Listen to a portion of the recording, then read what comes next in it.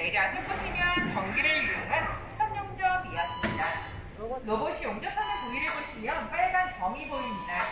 이렇게 점을 찍듯이 용접한다고 해서 스폿용접이라고 하고 있고요. 강한 전기 에너지로 강판의 면과 면 부분을 녹여서 이어붙이고 있습니다. 네, 앞에 보이는 스폿용접은 자동차를 만들 때 한대당 9천에서 8천 포인트 이상이 사용되고 있는 가장 보편적인 용접 방법이고요.